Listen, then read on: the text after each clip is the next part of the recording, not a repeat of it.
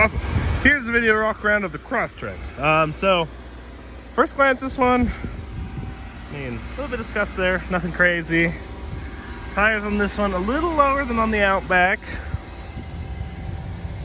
I don't see any major dents or dings on this side. These tires are about the same as the front. Uh, nothing on the back that I can see. It's all, yeah, no dings or dents down the side. Um, I kind of see a little bit of an imprint in the driver door. Nothing like crazy, just door dings though. Kind of see it there-ish.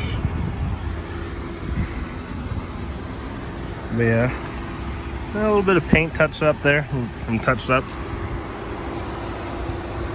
Hood, windshield, roof are good. This one does have a little bit, you know, the leather seats, heated of course, a little bit nicer trim level being limited. I will say the only, I mean, it's nice in here. The only thing I noticed is it kind of does smell like a groomer. Like a pet groomer, like dog almost.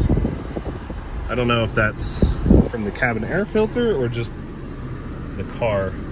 So something to keep in mind. It I can't send you a video of how it smells, but it smells like you walked into a, a dog groomer. Just something to be aware of.